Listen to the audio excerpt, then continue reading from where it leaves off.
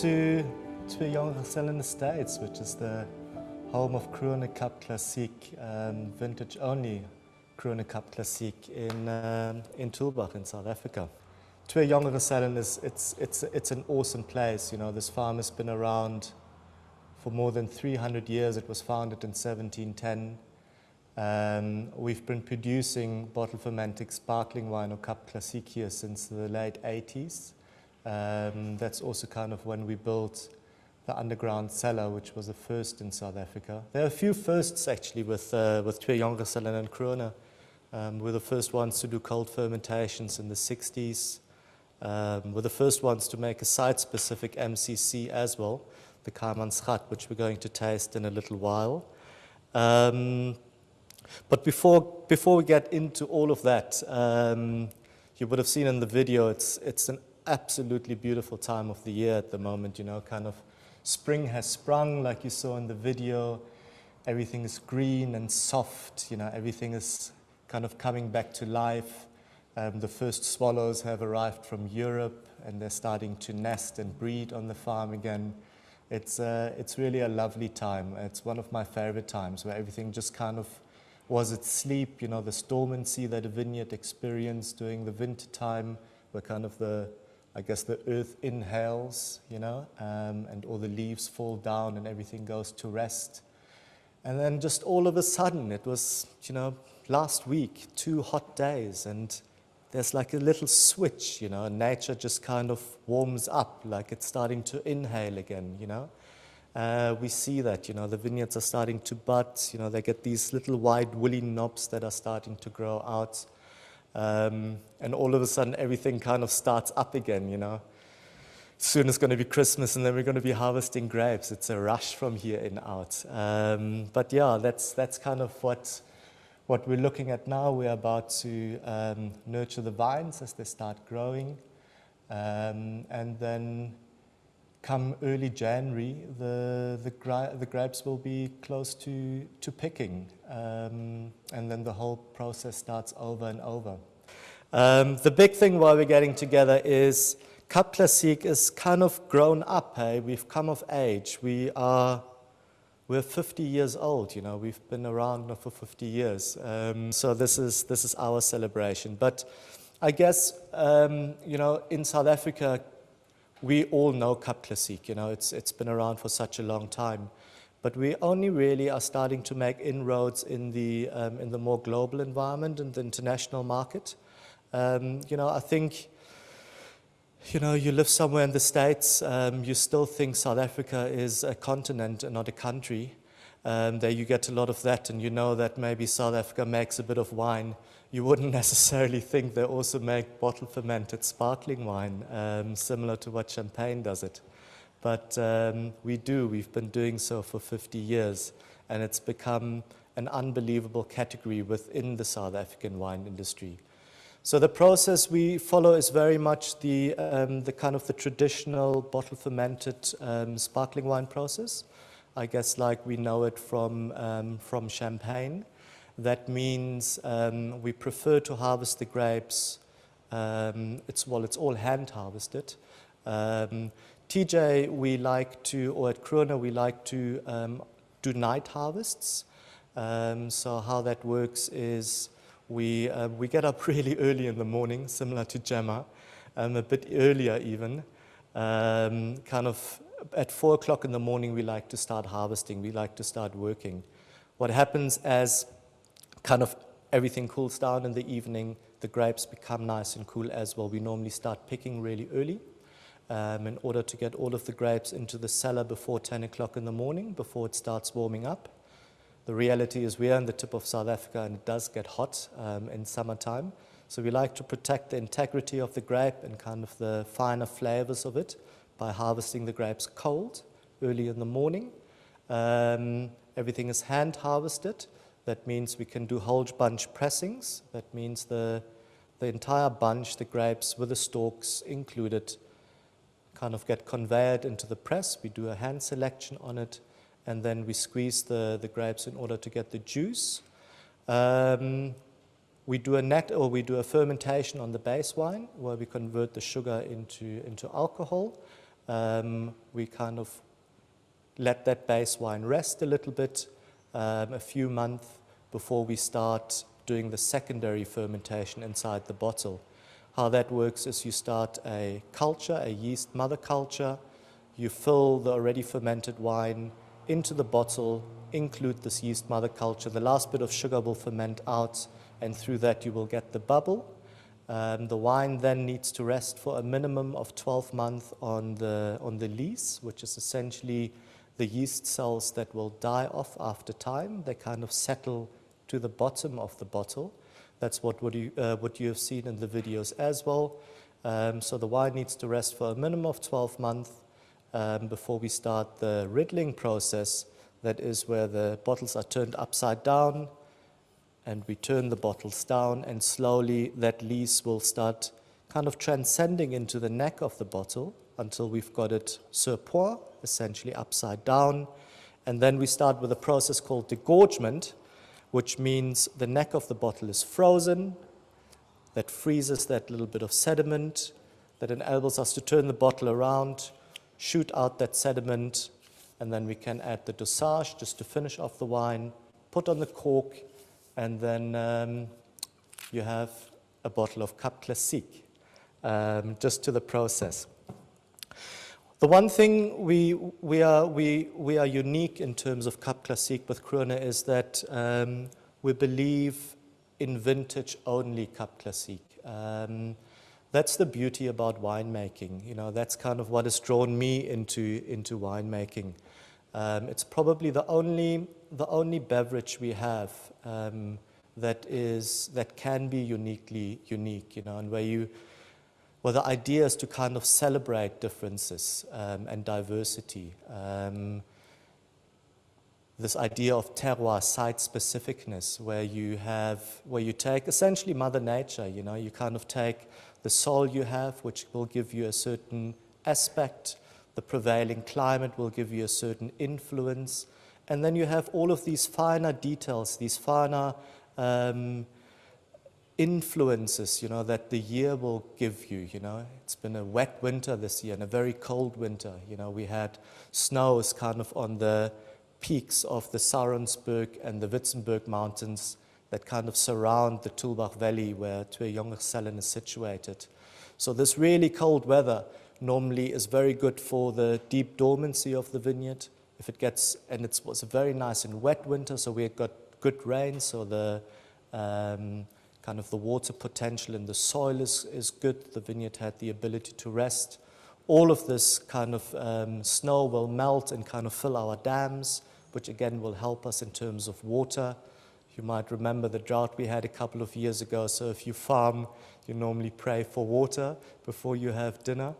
Um, and then, um, then, then the season starts, you know, and all of these attributes kind of have an impact on the product you make. And at Krone, we like to celebrate that. Um, a lot of times with this type of product, um, I guess especially also with the bigger champagne houses, they have this preconceived idea of a house style. Um, so you kind of, you know, it needs to taste consistent, it needs to taste the same. You need to know what to get or what you expect. We kind of turn that upside down, you know, we we like the idea or we know how we want Krone to taste, but those finer nuances, those finer details, we, we definitely want to show. So we will see every product of Krone will have the vintage on it.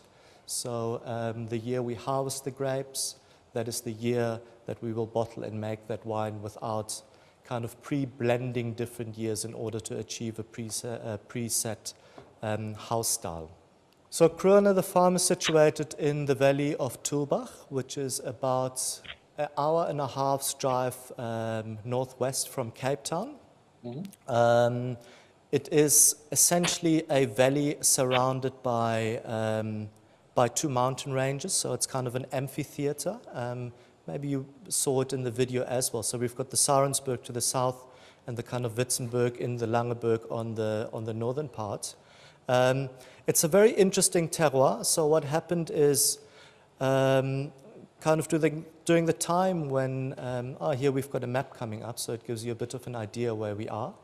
Um, What is interesting on this terroir, which makes it, which makes it quite different and quite unique in South Africa, um, the, all of the mountains in South Africa were formed during the, the folding actions when the platonic um, plates started moving.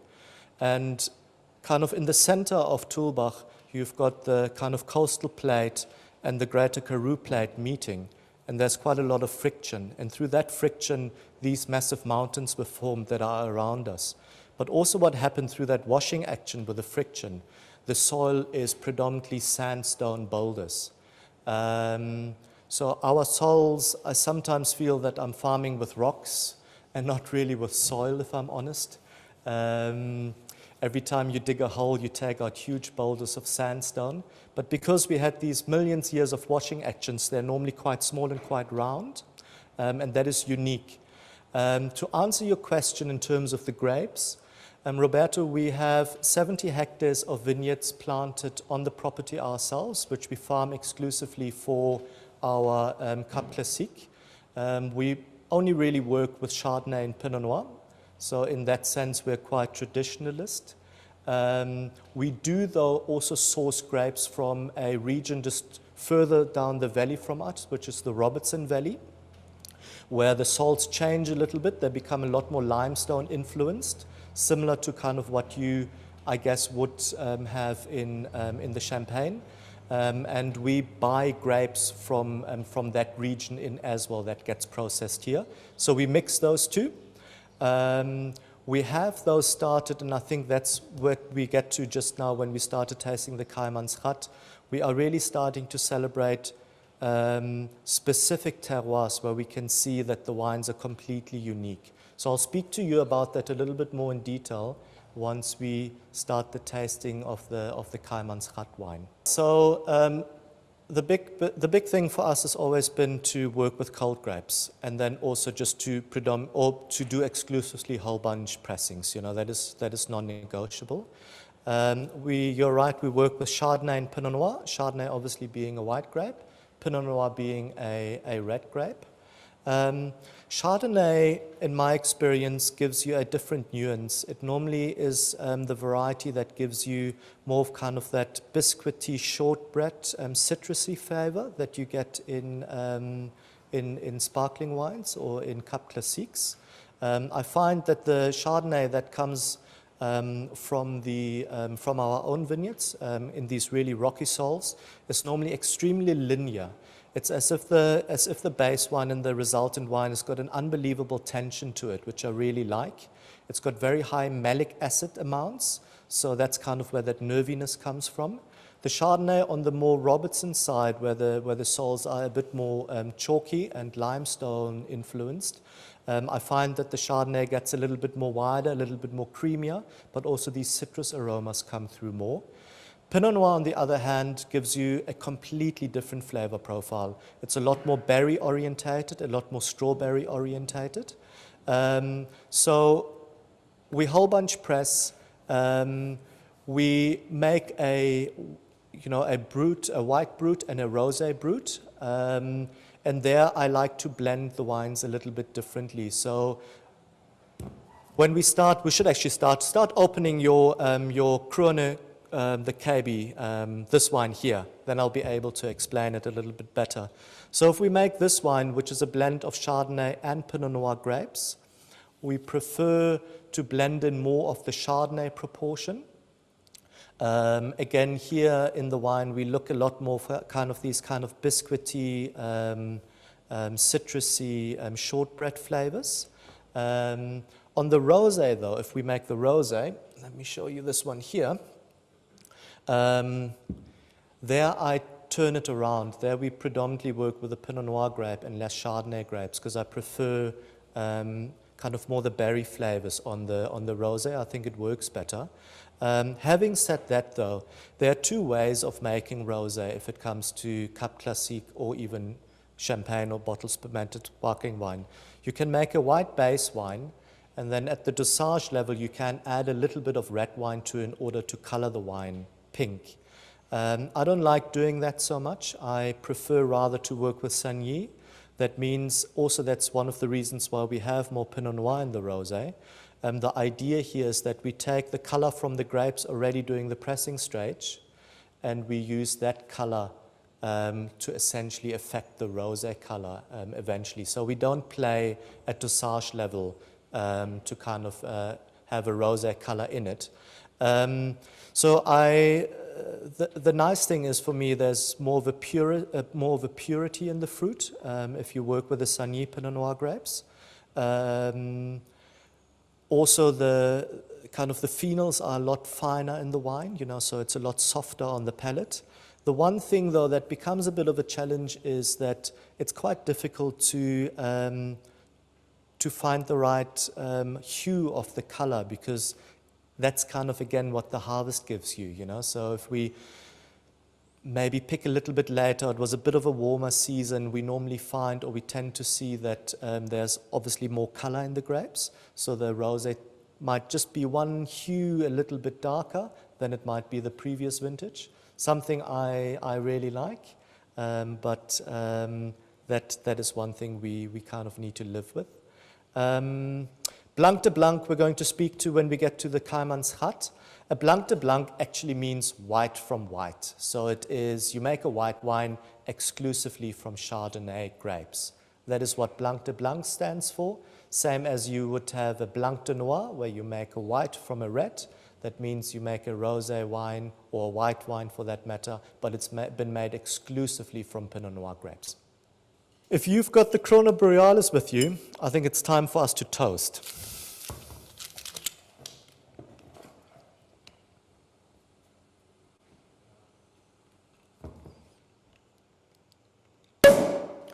That's normally a good sound. It's a good sign. It's the 2019 vintage. Um, it was uh, it was a really it was a it was a great vintage for us. Um, we it um, kind of the standout thing. So that's the one that's the one thing if you're a winemaker, you know, you only get so many chances in your life if you think about it. You know, you have. Um, of how many chances I had now. You know, you only get to harvest once a year. You only try to be able to perfect this, you know, once a year. Um, so uh, my first harvest was in year 2000, you know, and uh, now we're in year 2021, so I had 21 chances. And if I would have to go through all of my vintages, the ones that really stuck out for me were kind of 2013, 2003, 2017, and 2019 is really starting to shape up to be also a really kind of classic Cape vintage. Everything just kind of seemed to work right. You know, we had um, a really soft spring.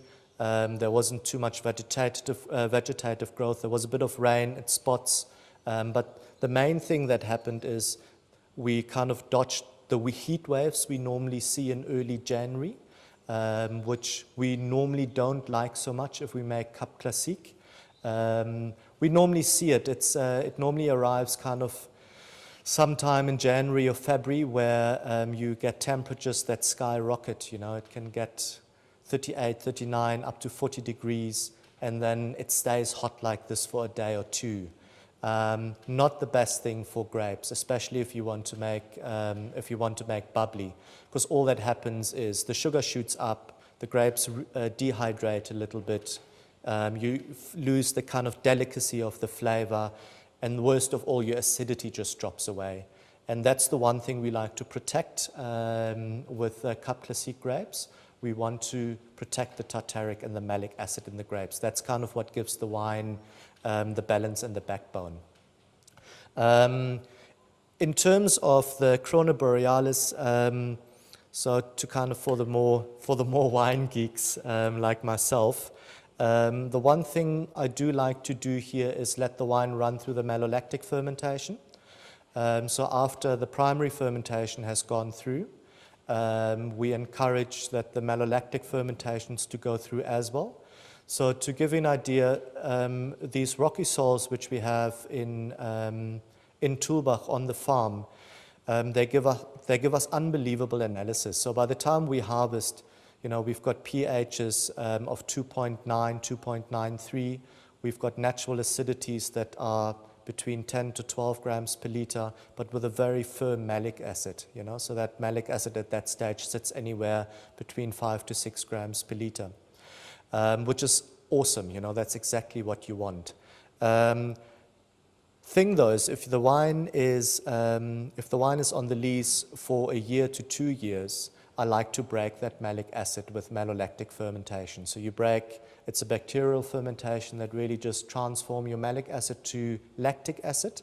Lactic acid is a, it's not a double acid like malic acid, so it's much softer.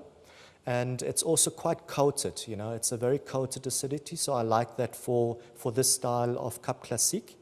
Um, and then the nice thing, it just adds an unbelievable breadth of flavor to the wine as well, um, which, um, which just makes it so much more interesting. Um, and then, you know, all these things. The other thing that's really nice about having more, malic, or uh, more lactic acid in the wine is that it also acts as a preservative, as a natural preservative. So that is one thing we also don't work with is sulfur dioxide. I do work with a bit of sulfur on the grapes when they enter the cellar, but after that, um, we don't, we don't, there's no need to preserve the wine any further with sulfur dioxide. So for me, this wine is very much like I explained it. It's predominantly Chardonnay with a bit of Pinot Noir. Um, it's about an 80 20% split. And I think you really pick it up on the nose. You know, it really, for me, I get a lot of kind of that finer citrus that comes through. You know, there's maybe even a bit of kind of that mandarin peel in it. And then very much kind of these um, oyster shell, kind of salty flavors. Yeah, and then really kind of that biscuity shortbread is starting to show. You will see as this wine matures out, um, kind of that biscuity flavor will just kind of become more and more pronounced, and the citrusy flavor will start to, to dim, uh, diminish more. The 2016 vintage on the Krone Kaaimansgat.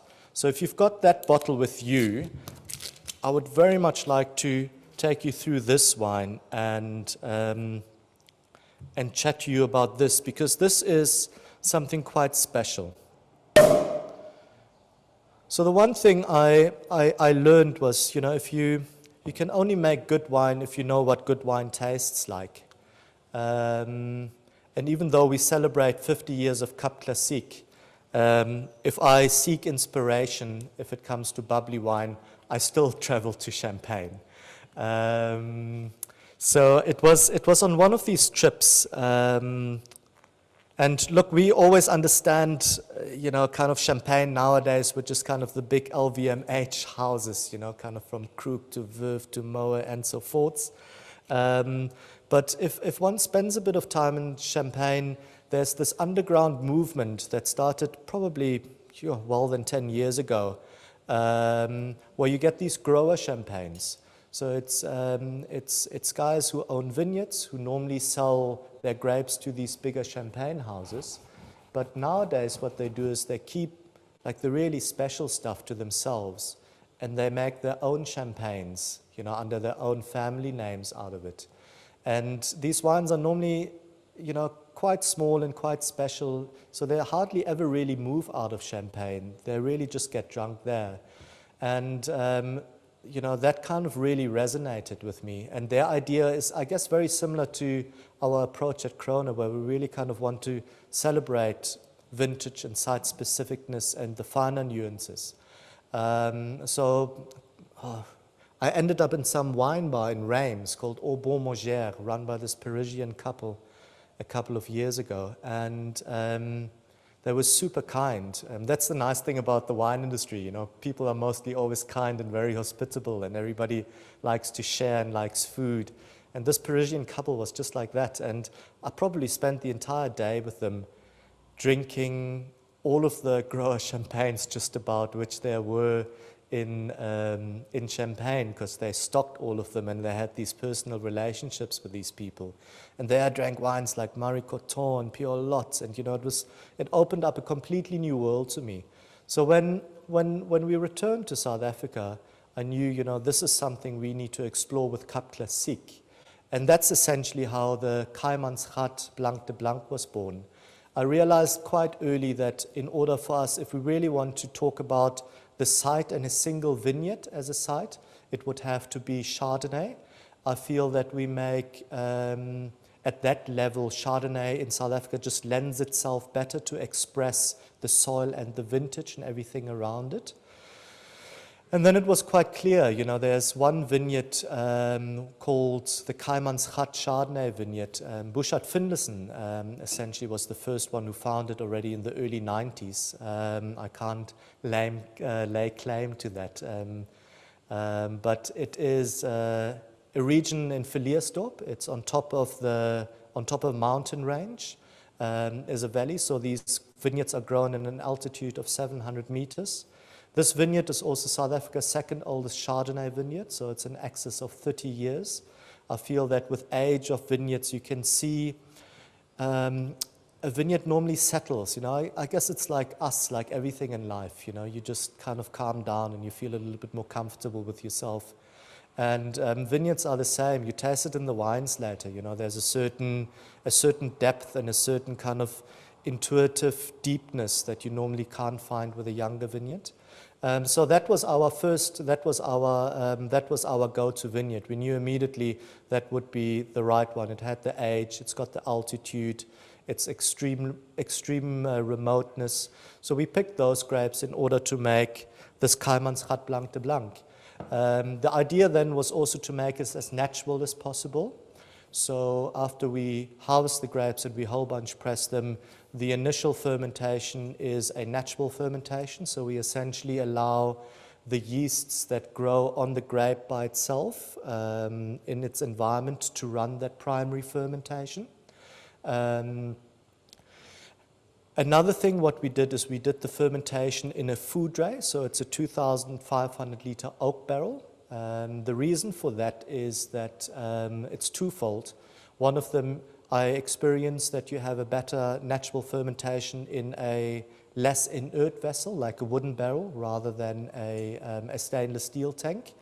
And then at the same time, I can still have a cooling plate inside the, um, inside the, inside the, uh, the wooden barrel.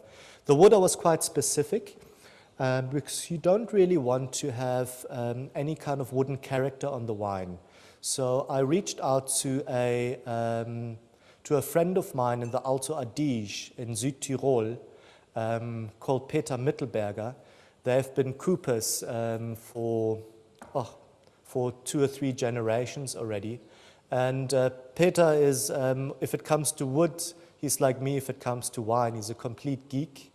and they've also got a completely different sense on, on oak and, and maturation and cooperages. So um, this particular wood comes from the Saarland um, because the, um, the climate in the Saarland, the oak is a lot more tighter grained than you might even have in France.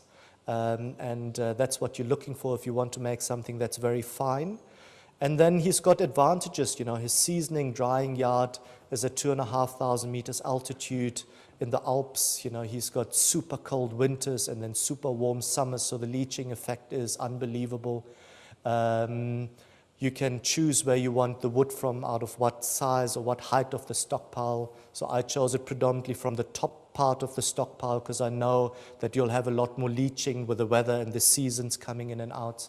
And then uh, it's absolute craftsmanship on how Peter builds these barrels. So you kind of go to that detail to find the right cooper for the wine. Um, after fermentation, the wine spends six months in the oak on the gross lees. Um, there's no stabilization whatsoever. What I do do here, though, is that I open the cooling to inhibit the malolactic fermentation. Here, I really want to retain that linearity of the malic acid, um, unlike what I do with the Krone Borealis. The reason for that is because I know this wine is going to spend a minimum of three or four years on the lees before we start to, uh, to disgorge it. So the wine has got a lot more time to kind of rest and to integrate and to mellow out. Um, dosage, we work very slightly here. We only go up to four grams per liter. Um, and that's pretty much it. Um, so the idea, and very much a first for Cap Classique after 50 years, is um, South, South Africa's first um, site-specific, vineyard-specific Cap Classique, very much in the idea of a grower champagne. Wow, changes completely. It's a lot more reserved. Um, the flavors become, um, uh, yeah, they're, they're, there's definitely no kind of citrusy line in there. Here's a lot more kind of this oyster shell. Um, I find there's kind of this um, small uh, kind of mushroom um, um, flavor that's coming out that's starting to show the, the, the, the age of it. But then if you taste the wine, you know, it's just, uh, it's got an unbelievable structure, minerality, and layers to it, you know. Um, and then actually once you swallow the wine, you can see how, how the intensity, how that brightness, that flavor just kind of comes back, you know. In winemaking, a lot of times we believe that it's a form of art. I've recently under, started to understand that um, yeah, I guess I always wanted to be an artist, and then I realized I'm not good at it. I've got no talent. Maybe that's why I became a winemaker. But I quite recently realized that, you know, as a winemaker, you're actually not an artist. You're actually more like a gallerist, you know. Nature is very much the artist, and you're just trying to put it all together that it works and that it fits. Um, but it is something that, um, that is very dear to us. Um, so we've been interactively, also on the farm, you know, this, this place has been around for over 300 years. It's, it's got all of that history and all of that journey and all of the buildings that come with it that we um, decided to kind of celebrate that with art a little bit, you know. So our old, the cow shed, you know, where for many, many years the cows were milked, is now a gallery where What If the World exhibits. Um, that's what I wanted to show you with a walkthrough, kind of our um, art arcade. We have found unbelievable spaces um, which um, just lend themselves so nicely um, to exhibit arts. We've got a um, art residency, so we've got an artist living on the farm kind of producing all the time who we swap around. Again, it's just it's nice, you know, it just brings a completely different angle to this, you know, especially if everybody wants to create something, you know, we want to create, we want to be creative. So it's nice to live in that space. Um, we just on the weekend we had um, the 40 under 40, which was an unbelievably nice um, event organized by kind of the BMW Young Art Initiative and Joburg Art together with What If the World, where we exhibited 40 artists under the age of 40 across the African contract, and we had 40 young collectors who were under the age of 40 to kind of share a meal and, um, uh, and, and yeah, just, just have fun, you know, um, just uh, do what we like to do. Um, now, our next project is very much um, to grow our Blanc de Blanc range. Um, so I've been working now for the last couple of years finding two other Chardonnay vineyards. So one on the farm that we planted specifically for this project, um, and then one which is on the Ceres Plateau. Um, again, a very extreme high altitude vineyard. Um, so the, our next project is rather, I want to celebrate the site-specific Blanc de Blanc more. Um, so in time, there will be a Twee Jonge Gezellen Blanc de Blanc, We've got the Kaaimansgat Blanc de Blanc, and we'll eventually have a Koelfontein Blanc de Blanc as well, which are three very different sites. Um, the wine is made in exactly the same way, and hopefully you'll be able to drink them next to each other, and you'll really be able to celebrate the differences in that wine.